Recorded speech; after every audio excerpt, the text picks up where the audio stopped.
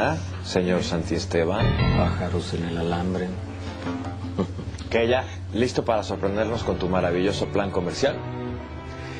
Yo estoy listo para exponerlo. Espero que ustedes estén listos para entenderlo.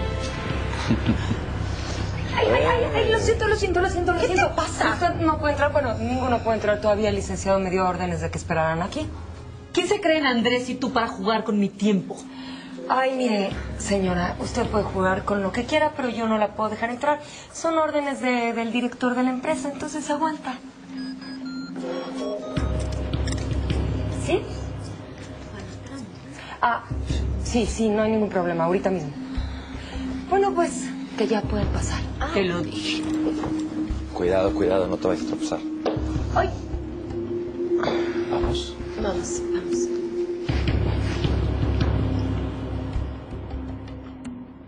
¿Tú crees que tus hermanos quieran venir con nosotros a Valle?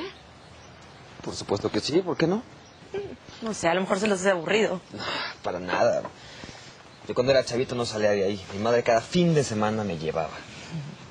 Bueno, cuando estaba sana, porque después era casa, hospital, hospital, casa.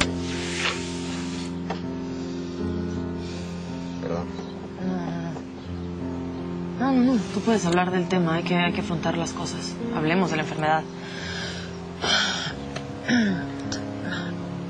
Es que a veces, Alex, creo que, creo que me ocultan las cosas.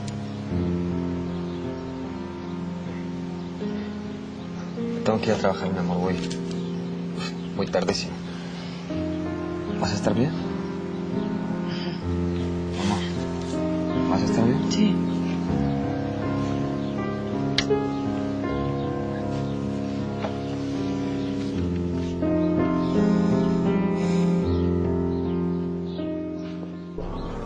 Buenos días. Como está en el orden del día que tienen en sus carpetas, Leonardo va a explicar el plan comercial del joint venture que tenemos en Alas eh, con sus empresas. Por favor, Leonardo. Gracias, Andrés. Buenos días a todos. En principio, Diana les va a hacer una exposición acerca del proyecto. Leonardo, Leonardo, por favor. Prefiero que lo hagas tú, ¿sí? Si esta señora es tu asistente, que se limite a eso, ¿sí? No quiero escucharla siquiera. Es más, prefiero que ni la traigas a las juntas. Leonardo, por favor.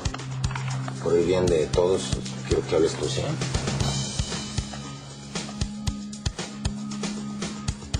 Con este joint venture establecemos una sinergia entre ambas empresas que nos permitirá posicionarnos sobre el mercado y sobre todo en el mercado.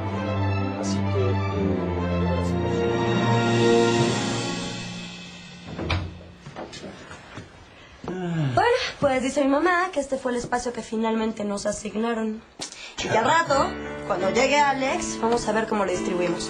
No, hombre, manito, ahora sí parece que nos mandaron a la oficina del chamuco, ¿no? Y todos, carnal. Seremos los empleados del subsuelo. Nos gustaba más allá arriba.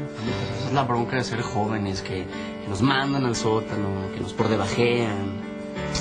Ya, bájale, bájale, no se agüite. Está chido, la neta. A ver cómo lo hacemos. Bueno, después. De este modo se estaría generando una tercera empresa subsidiaria de Alas y Grupo Santiesteban. Exactamente. Y aunque te moleste, Andrés, yo me encargué de montarla. Chécalo. Chequen. Ahí están los estatutos, estudios de mercado, sistema operativo. Y como verán, la proyección financiera augura grandes ganancias para los dos grupos. Bueno, pues que lo revisen mis asesores, Leonardo, ¿sí? Con permiso. Con permiso. Me encanta cuando te ponen en tu lugar. Hostia.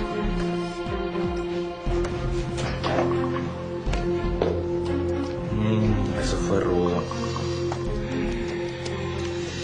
Pero tengo una propuesta que te va a cambiar de mente. Yo también te tengo una. Entonces, ¿qué? ¿Nos vemos en el mismo lugar?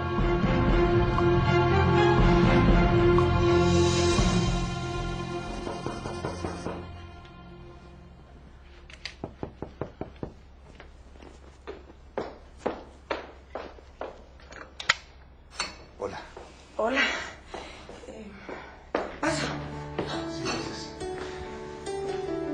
Vine aquí cerca a arreglar unos asuntos del sindicato y precisamente por eso te llamé anoche. Si podía pasar a saludarte. Eh, sí. Siéntate. Está bien. ¿Cómo, ¿Cómo le va, Horacio? Regina, ¿cómo está? Qué gusto. ¿Cómo se va? Qué bueno que nos viene a saludar, ¿eh? Qué gusto me da. Eh, discúlpenme, ¿eh? porque tengo que salir al súper, pero eh, ya sabe que está en su casa, ¿verdad, mijita? Muchas gracias. Sí, ofrécele un cafecito, mi vida. ¿Eh? No, no me tardo, ¿eh? Están en su casa. Que te vaya muy bien. ¿Te das cuenta? ¿Te das cuenta que tu propia madre ve con muy buenos ojos esta relación? Y tú eres la única que no quiere saber nada.